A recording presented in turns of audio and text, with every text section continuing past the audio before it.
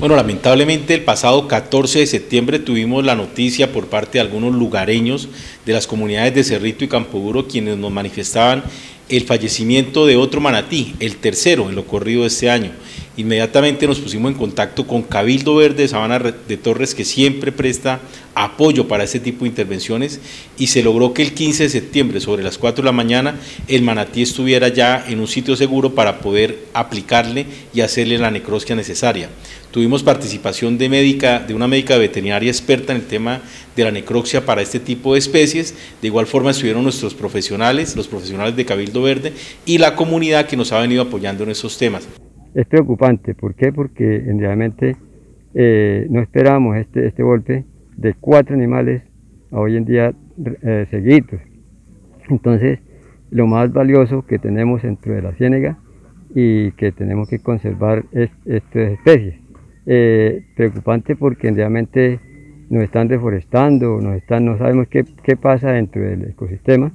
La necroxia arrojó un resultado que realmente nos preocupa muchísimo, además de todos los parámetros que tiene como tal el, manatí, es un macho adulto joven, aproximadamente de 3 a 4 años, un peso aproximadamente de 300 kilogramos, 2,84 eh, de largo. Y lo preocupante es que en su estómago no había alimento, es decir, se está presentando la situación que los manatís están posiblemente quedándose sin alimento, no porque no haya alimento en la ciénaga, sino porque les está quedando difícil el acceso al mismo. Esto es lo que está sucediendo con el uso de los trasmayos en la ciénaga. Los manatís no están alcanzando a llegar hasta el sitio donde está el alimento y por eso terminan o enredados o muchas veces también en un estrés, porque también produce estrés el no poder tener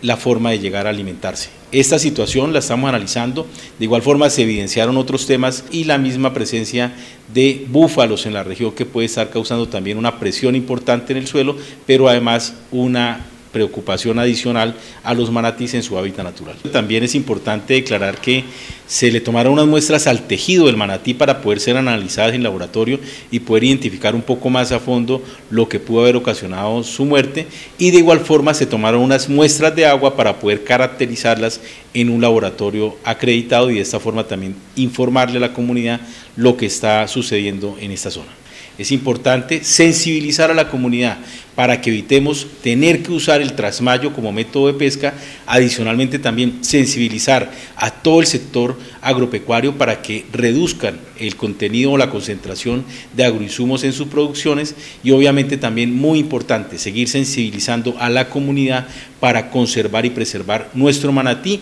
una especie en vía de extinción que nos permite estar más cerca de los ecosistemas y mejor conectados ambientalmente.